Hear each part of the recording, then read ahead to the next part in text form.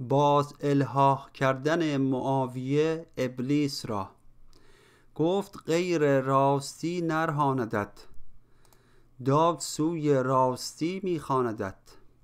راست گو تا وارهی از چنگ من. مکر ننشاند غبار جنگ من. گفت چون دانی دروغ و راست را ای خیال اندیشه پر اندیشه ها گفت پیغمبر نشانی داده است. قلب و نیکو را محک بنهاده است. گفته است از که الکذب ریب و فی قلوب. گفت از صدق تمانی تروب دل نیارامد ز گفتار دروغ. آب و روغن هیچ نفروزد فروغ. در حدیث است آرام دل است. در حدیث راست آرام دل است. راستی ها دانه دام دل است.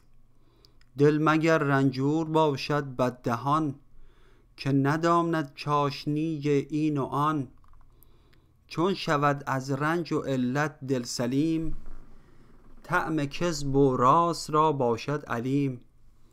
حرص آدم چون سوی گندم فزود از دل آدم سلیمی را ربود پس دروغ و اشفعت را گوش کرد. غره گشت و زهر قاتل نوش کرد. کژدم از گندم ندانست آن نفس. می پرد تمییز از مست هوس. خلق مست آرزویند و هوا. زان پذیرایند دستان تو را.